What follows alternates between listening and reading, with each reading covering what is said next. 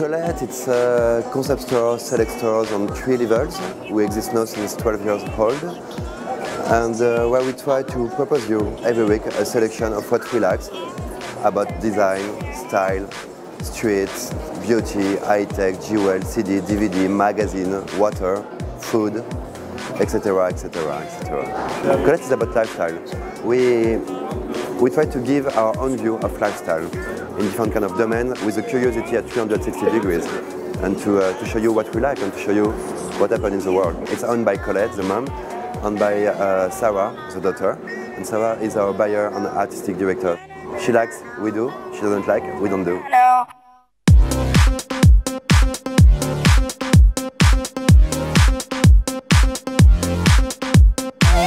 The first level, where we are now, you have the ready-to-wear for female, the ready-to-wear for male, you have the art gallery, you can also find the cosmetic area about cosmetic, makeup, skincare, perfume and candles. On the ground floor, you have a huge selection about streetwear, street couture, something like this, with Japanese brand or American brand. You have jewels, high-tech, CD, DVD, magazines, books, little things, funny things. Downstairs in the basement, you have the water bar and the restaurant, which is open the same time as the store.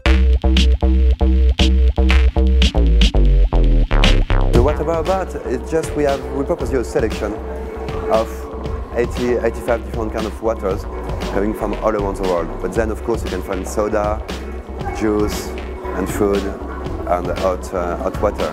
But water.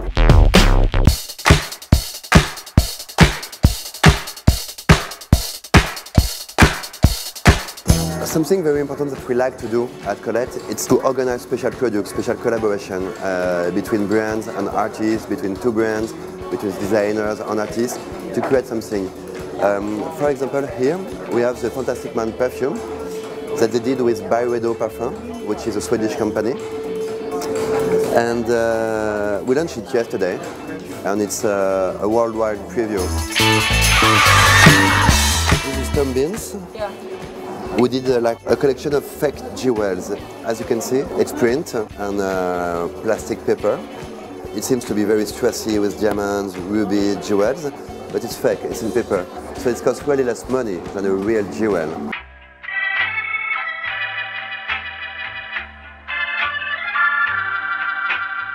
We have an open space called the temporary corner or you, you can call it how you want. Where we have project every month, a new one. This month, for example, it's a special Barbie room with many different kind of things.